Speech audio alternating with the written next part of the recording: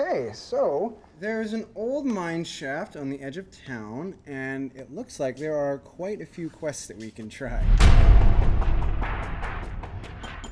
Are you sure it's this way? of course I'm sure. Fruit face. Come on, Robs, it's only a dark, damp, smelly, rotten, rundown old mine shaft. What could possibly go wrong? Officer, please help. My friend's been taken by a horde of goblins and there's nothing I can do to save him.